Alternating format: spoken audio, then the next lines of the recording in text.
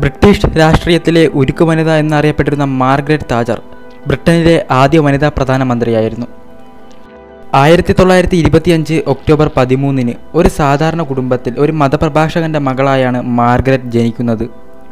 അവിടെ നിന്നും ബ്രിട്ടന്റെ ഭാഗതയം നിർണയിച്ച ഉരുക്കു വനിതയായുള്ള മാർഗ്രറ്റിന്റെ ഉയർച്ചയ്ക്ക് പിന്നിൽ കഠിനാധ്വാനത്തിന്റെയും കാർക്കശ്യത്തിന്റെയും ഫലമുണ്ടായിരുന്നു.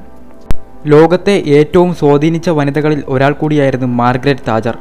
ആയിരത്തി തൊള്ളായിരത്തി എഴുപത്തി ഒമ്പത് മെയ് മൂന്നിന് ബ്രിട്ടീഷ് രാഷ്ട്രത്തിന്റെ പ്രധാനമന്ത്രി പദത്തിലേക്ക് ഉയർത്തപ്പെട്ടു മാർഗ്രറ്റ്. ആഭ്യന്തര നയത്തിൽ മാർഗ്രറ്റ് സമ്പദ് വ്യവസ്ഥയുടെ കാര്യങ്ങളിൽ വലിയ പരിഷ്കാരങ്ങൾ നടപ്പാക്കി.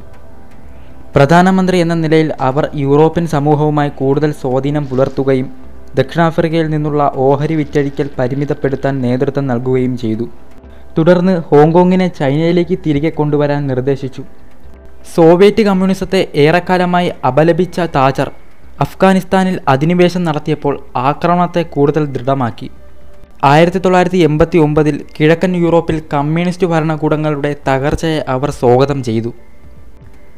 ഫാക്ലാൻഡ് ദ്വീപുകൾ വീണ്ടെടുക്കാൻ അർജന്റീനയുമായി യുദ്ധത്തിന് പോയ മാർഗരറ്റ് ഇറാഖിനെ എതിർക്കുന്ന സഖ്യത്തിലെ നേതാവായിരുന്നു. അങ്ങനെ ആയിരത്തി തൊള്ളായിരത്തി എൺപത്തിരണ്ടിലെ ഫാക്ലാൻഡ് യുദ്ധത്തിൽ അർജന്റീനയെ നിർണായകമായി പരാജയപ്പെടുത്തി. ദീർഘകാലാടിസ്ഥാനത്തിൽ കമ്മ്യൂണിസത്തിനെതിരെ രണ്ടാം ശീതയുദ്ധം വർദ്ധിപ്പിക്കാൻ റൊണാൾഡ് റീഗനുമായി ചേർന്ന് പ്രവർത്തിച്ചു. എന്നിരുന്നാലും ശീതയുദ്ധം അവസാനിപ്പിക്കുന്നതിന് സോവിയറ്റ് നേതാവ് മിഖായൽ ഗോർബച്ചേവുമായുള്ള സഹകരണം അവർ പ്രോത്സാഹിപ്പിച്ചു. ആയിരത്തി തൊള്ളായിരത്തി എൺപതുകളുടെ അവസാനത്തോടെ മന്ത്രിസഭയിലെ നിരവധി മുതിർന്ന അംഗങ്ങളെ മാർഗരറ്റ് എതിർത്തു.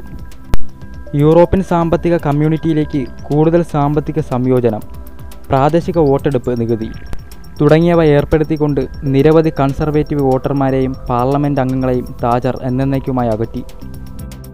ആയിരത്തി തൊള്ളായിരത്തി തൊണ്ണൂറിൽ തന്റെ പ്രധാനമന്ത്രി പദം ഔദ്യോഗികമായും ഉപേക്ഷിക്കേണ്ടി വന്നെങ്കിലും പതിനൊന്ന് വർഷം ബ്രിട്ടന്റെ പ്രധാനമന്ത്രി പദത്തിൽ പ്രവർത്തിച്ച ഈ ഉരുക്ക് വനിത രണ്ടായിരത്തി പതിമൂന്ന് ഏപ്രിൽ എട്ടിന് തന്റെ എൺപത്തിയേഴാം വയസ്സിൽ മരണമടഞ്ഞു.